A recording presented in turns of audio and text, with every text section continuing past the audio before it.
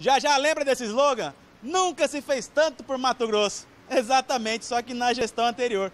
Hoje, esse slogan, nunca se fez tanto por Mato Grosso, é o que a polícia já já está fazendo. E hoje nós estamos aqui na Polícia Judiciária Civil para ouvir aí uma informação detalhada sobre um esquema criminoso que ocorreu aqui em Mato Grosso com desvio de dinheiro, né, com corrupção, e é levado o nome de BBPEG, exatamente, onde era um aplicativo do Banco do Brasil, onde fornecia valores de forma ilícita para associações, pessoas com má intenções. Quer saber um pouco agora o que aconteceu?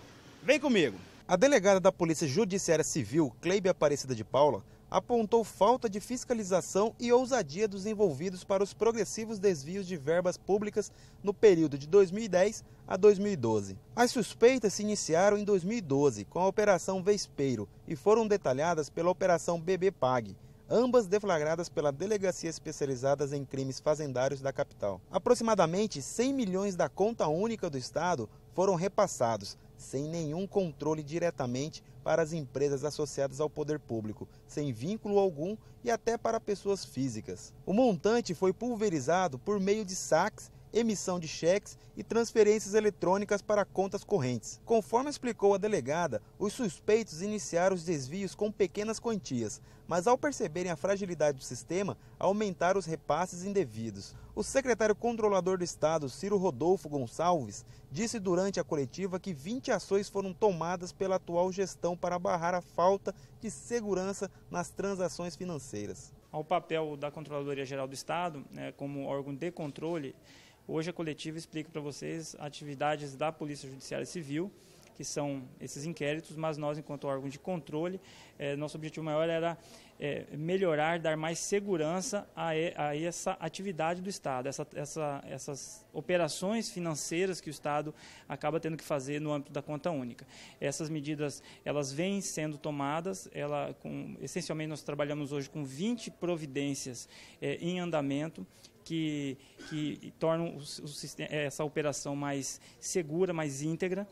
É, através de conciliações eletrônicas, através de certificação digital dessas operações, é, afastando toda, todo o elemento humano, hum, afastando da melhor maneira possível o elemento humano nessa operação. Que realmente esse, esse fator humano dessa, que existia nessa operação, o script que era seguido, é que facilitou é, esses, esses desvios ao longo dos anos eles utilizaram tanto pessoas jurídicas que tinham algum vínculo, alguma consignação com o Estado, como também pessoas jurídicas sem nenhum vínculo, sem nenhuma contraprestação, de modo que aquelas empresas que efetivamente tinham algum valor a receber do Estado, eles manipulavam os dados de modo que era repassado o valor real e à medida que o dado ia sendo manipulado, eles repassavam o valor a maior. Então, como exemplo que o, o auditor deu ali, no valor hipotético aí de 10 mil, eles passavam 10 mil, que era o valor real, e, na verdade, eles manipulavam para 100 mil esse valor. Já aquelas que não tinham nenhuma contraprestação, o valor era passado na integralidade mesmo, sem que houvesse nenhuma fiscalização para essa contraprestação de serviço. Doutor, o senhor já vem aí prestando um brilhante trabalho aqui no estado de Mato Grosso.